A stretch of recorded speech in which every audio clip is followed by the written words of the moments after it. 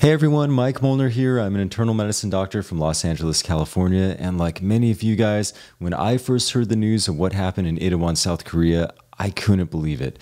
There was a, a crush, a crowd crush incident, and over 150 people lost their lives. Many of these were young people who were out there just wanting to celebrate Halloween and it ended in this tragedy. So, what exactly happened? Well, a lot of the media outlets were first reporting this as a stampede. The victims were crushed by a large crowd that stampeded in Seoul. But that is a mischaracterization. This wasn't like a unruly mob that was just running around trampling people down. Uh, quite the contrary. This was simply too many people in too small of a space.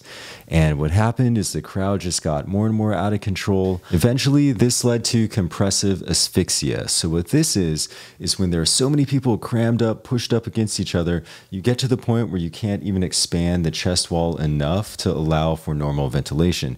Your diaphragm is trying to move down, trying to create that negative intrathoracic pressure to allow air to move in, uh, but it just can't happen because there's just too much force causing extrinsic compression of the thorax.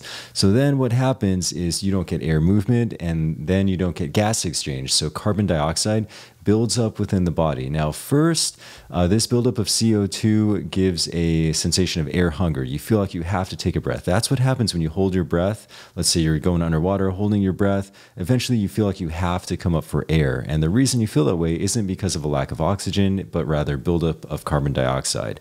So that's the first thing that would happen. But then after that, when CO2 levels rise enough, you end up with a respiratory acidosis. This is where acid levels in the blood rise. And this can make people very confused and eventually even uh, make them go into a coma. Now, along with this, you also get hypoxemia. That's where the oxygen levels dip down low. And then when this gets severe enough, it can lead to pulseless electrical activity, which is a type of cardiac arrest. Now, this type of cardiac arrest isn't the really dramatic one that you see in the movies all the time where the doctor rushes in with the electric pads to shock the patient. Uh, that's not what this is. What happens here is the heart may still have some detectable electrical activity, but it's not not an arrhythmia, it's not ventricular fibrillation, not anything you can shock. What you do instead is CPR and you can give medications like epinephrine. So that's the nuts and bolts physiology of this, kind of like the medical mechanics. But on a bigger scale, how did this even happen in the first place? Well, when you have a big crowd, if it becomes dense enough, the situation can become dangerous. And typically, this occurs right around five people per square meter.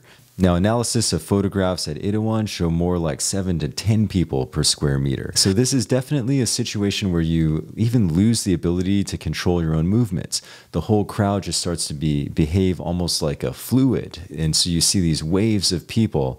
And right here, this is when things can really get out of control. And to make matters worse, if people in the back of the crowd fall, this can create a domino effect whole crowd falls down, and then you end up with what's called a crowd crush, where people get smothered. There can even be as much as 800 plus pounds of pressure on top of them, making it impossible to breathe. So, all of this is truly horrific. So much so, I'm not even going to post videos from it. I mean, I'm sure you can Google it if you want to see um, footage of, of what happened. But what I hope we can take away from this are some tips for how to keep yourself safe in a crowd. So I think number one, uh, know your surroundings. Anytime you're in a crowded environment, let's say you're at a ball game or a concert, take a look around and uh, look look for other exits. Know that in an emergency, if there's a fire or something, your first instinct is going to be to try to leave the way you came in. But that's what everyone else is going to do. And if everybody flocks to the same exit, you can get a bottleneck, and then that's where these sort of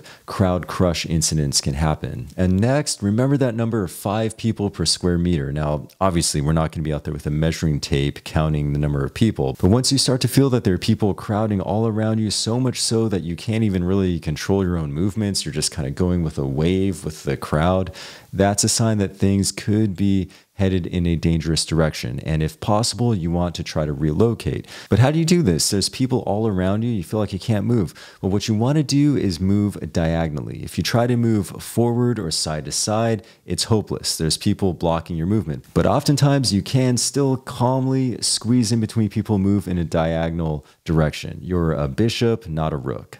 And finally, let's say the crowd is so dense you can't even move at all. What do you do?